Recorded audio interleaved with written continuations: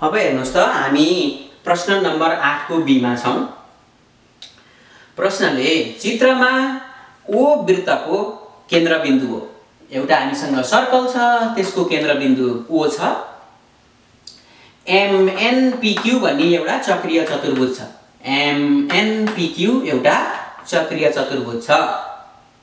भनेको यी चारवटै पोइन्ट बिन्दुहरू सर्कलमा वृत्तमा पर्छन् भनेको। र त्यसमा के भनेको छ भने यसलाई एक्सटेन्ड गरेको छ थोरै दुवैवटा भुजा यसलाई एक्सटेन्ड गरेको छ यो एन र आरलाई जोडेको छ। त्यसमा एनआर भन्ने यो र यो लाइन र एनपी भन्ने लाइन बराबर छ। हेर्नुहोस् है यो लाइन र यो लाइन के छ त? बराबर छ भन्छ। अब यो दुईटा बराबर भने एउटा ट्राइङ्गलमा हेर्नुहोस् त एनपिआर एउटा समद्विबाहु त्रिभुज बन्यो। किनभने दुईवटा भुजा बराबर भएपछि समद्विबाहु त्रिभुज भयो। भनेपछि आधारका कोणहरू के हुन्छन् त? बराबर हुन्छन्। एउटा कुरा त्यहाँबाट जानु। अब तपाईँले आधारको भुजा यसलाई एक्स मान्नुभयो भने यो पनि के त? एक्स नै हुन्छ। अब तपाईँले X plus X plus fifty गरेपछि एक्सको भ्यालु निस्किन्छ। किन त? ट्राइङ्गलका तिनवटा कोणको सम एक सय असी डिग्री हुन्छ। यसलाई एक्स मान्नुभयो भने X plus X plus fifty भयो। तर अर्को थ्योरमले के भन्छ भने थ्योरममा जानु पनि पर्दैन हेर्नुहोस् त। यो कोण र यो कोणको योग कति हुन्छ? एक सय असी डिग्री हुन्छ। यो कोण र यो कोणको योग? किनभने चक्रीय चतुर्भुजका सम्मुख कोणहरूको योग एक सय असी डिग्री हुन्छन्। अथवा चक्रीय चतुर्भुजका सम्मुख कोणहरू परिपूरक हुन्छन् भनेर पढ्नु भएको छ। भने यो एङ्गल र यो एङ्गलको सम एक सय असी हुन्छ। यो एङ्गल र यो एङ्गलको सम पनि के हुन्छ? एक सय असी डिग्री हुन्छ भने अभियसली के हुँदो रहेछ त? यो र यो एङ्गल पनि बाह्य कोण र अपोजिट सम्मुख कोण पनि के हुन्छ त? बराबर हुन्छ भन्ने। थियोरमै छ हामीसँग। हामीले यो पढ्नु भएको छ तपाईँले। चक्रीय चतुर्भुजको सम्मुख कोणको सँगै बनेको आसन्न कोण बाह्य आसन्न कोण के हुन्छ त? बराबर हुन्छ भन्छ। अथवा बाह्य आसन्न कोण चक्रीय चतुर्भुजमा बनेको बाह्य कोण त्यसको आसन्न कोणको सम्मुख कोणसँग बराबर हुन्छ भनेर तपाईँले पढ्नु भएको छ। भनेपछि त के रहेछ त? यो कोण र यो कोण के के हुन्छ? बराबर हुन्छ।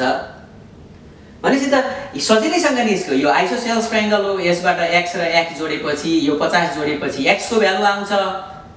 अनि यो आइसकेपछि यो र यो के हुन्छ? बराबर हुन्छ। त्यसपछि सल्भ गरौँ है त यसलाई। मानौ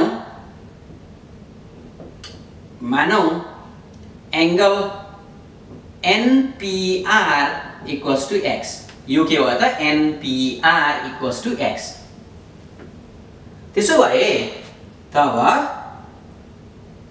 अब सजिलो डाइरेक्ट भनिदिन्छु है मैले यो एक्स हो भने यो पनि के भयो त? एक्स भयो। तब X plus X plus fifty equals to के भयो त? एक सय असी डिग्री। किन त रिजन त्रिभुजका तिन कोणको योग। त्रिभुजका तिनवटा कोण एउटा कोण दुईटा कोण र तिनवटा कोण जोड्दा कति आउनुपर्छ त? एक सय असी आउँछ। यसलाई solve two X equals to के भयो त? एक सय असी माइनस पचास। यसलाई उता लगेँ मैले। त्यो भनेको एक सय तिस हुन्छ।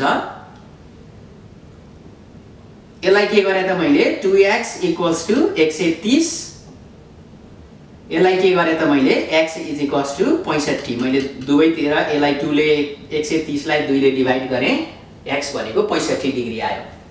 यो पैँसठी डिग्री आएपछि यो पैँसठी डिग्री आयो भनेपछि यो के हुन्छ त?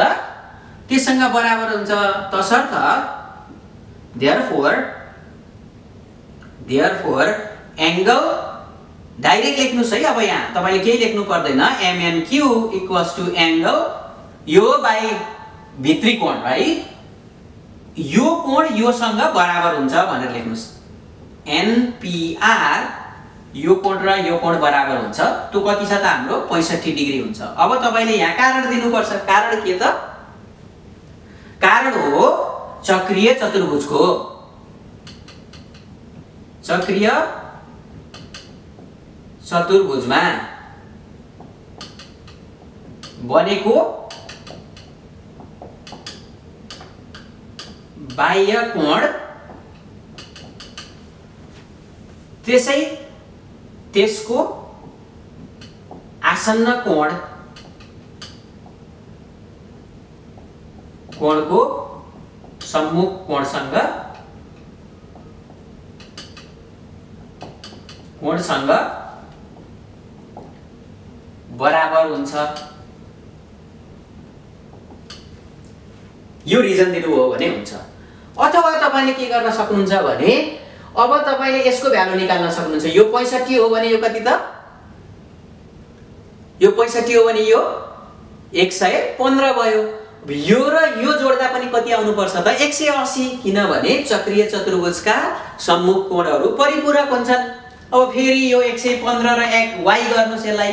वाइ गरेर एक सय असी गर्नु भए पनि हुन्छ। तर तपाईँलाई अलरेडी थाहा छ कि यो कोण बाह्य कोणसँग के हुन्छ? बराबर हुन्छ भनेर हामीले जानेका छौँ भने यहाँ रिजन लेखिदिनुहोस्। यो नै तपाईँको आन्सर हो। एकपटक फेरि हेर्नुहोस्। हामीसँग एउटा समद्विबाहु त्रिभुज दिएको छ। त्यो भनेपछि यो कोण र यो कोण बराबर हुन्छ। त्यसमा मैले यसलाई एक्स माने। त्यो एक्स भएपछि यो पनि एक्स त्यसो भए त जोडिदिनुहोस् न।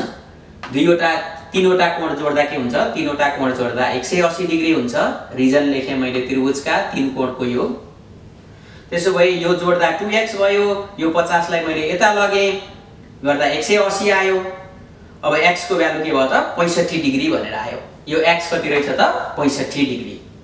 मैले यहाँ डाइरेक्ट युज गरेको छु यो भित्री कोण यो इन्स्क्राइब एङ्गल भन्छ यसलाई परिधि कोण यो बाह्य एङ्गलसँग के हुन्छ त? बराबर हुन्छ।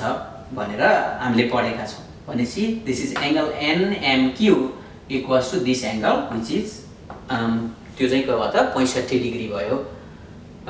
यो नै तपाईँको आन्सर हो। धन्यवाद।